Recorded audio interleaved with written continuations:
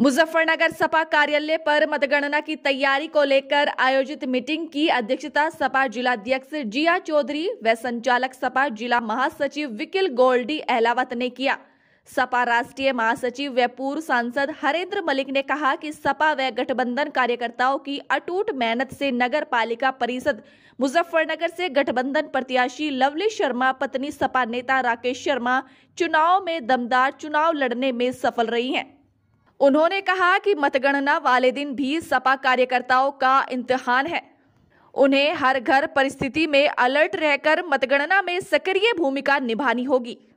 केवल मतगणना के अभिकर्ता नियुक्त करना और जो मतगणना से संबंधित राजनीतिक साथी हैं, उन्हें ये समझाना कि आपको कैसे कैसे चुनाव में मतगणना करनी है। अच्छा मुझे एक बात बताओ? हमने तो आरोप नहीं लगाया। साइकिल पर कोई फर्जी मोहर लगाता नहीं मिला। अब देखिए, हमारे पास चुनाव में प्रशासन पर एतबार करने के अलावा कोई चारा नहीं। लोकतांत्रिक प्रक्रिया लोकतंत्र में लोक सेवकों के कंधे पर चलती है, यानी ब्यूरोक्रेट्स के कंधे पर चलती है। आज तक हिंदुस्तान में जितने चुनाव हुए हैं, सरकारें बदली भी है, बनी भी है। वो सब ब्यूरोक्रेट्स ने लोक सेवकों ने चुनाव संपन्न कराए हैं। और हम विश्वास करने के अलावा कोई चारा नहीं, और हम विश्वास कर भी रहे हैं। हमें अनर्गल आरोप लगाने का शौक नहीं है। अगर कहीं त्रुटि होगी तो हमारा संगठन मज़बूत है।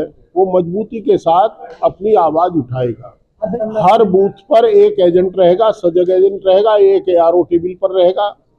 हर बूथ पर सदस्य का भी वो रहेगा, हर हर टेबल पर बूथ कहेगा मैं हर टेबल पर भी रहेगा और सभासद का भी और चेयरमैन का भी। जो नियम है उनका पालन करेंगे, अनावश्यक विवाद से बचने का प्रयास करेंगे, क्योंकि हम चुनाव जीत रहे और जीतता हुआ कभी विवाद नहीं किया करता। ये हमारा प्रयास।